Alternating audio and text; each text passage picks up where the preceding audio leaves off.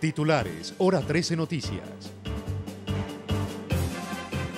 Denuncian que las denominadas batidas prohibidas en Colombia por la ley aún se siguen haciendo en Medellín.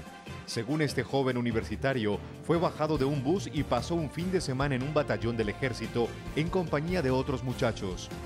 Pese a demostrar su condición de universitario y de expresar que era objetor de conciencia, no fue escuchado. Cuarta zona de reclutamiento niega las batidas, pero reconoce que pueden presentarse fallas en la forma de incorporar a los jóvenes. Personería de Medellín revela que en promedio recibe dos quejas a la semana por reclutamientos irregulares de jóvenes.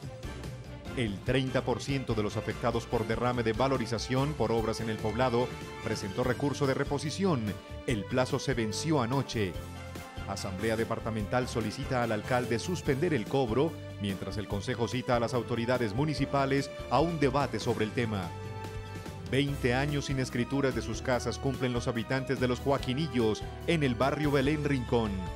Les dicen que el lote está en sucesión y en zona de alto riesgo y por eso no se pueden escriturar. Sin embargo, les cobran impuestos.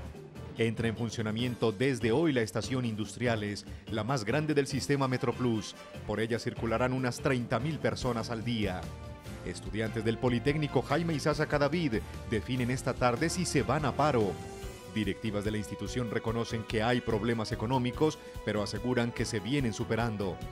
Más de 22 mil millones de pesos en préstamos durante su primer año alcanza el Banco de las Oportunidades.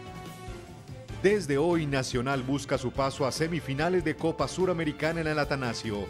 El verde recibirá al César Vallejo, que apenas cuenta con 18 años de historia y es séptimo en la Liga Peruana. Estrategia de la Federación de Tiro con Arco apunta a centroamericanos luego de histórico título panamericano. Y de postre, un espacio para grandes aventuras infantiles, maquillaje para Halloween y un homenaje sinfónico a los Beatles.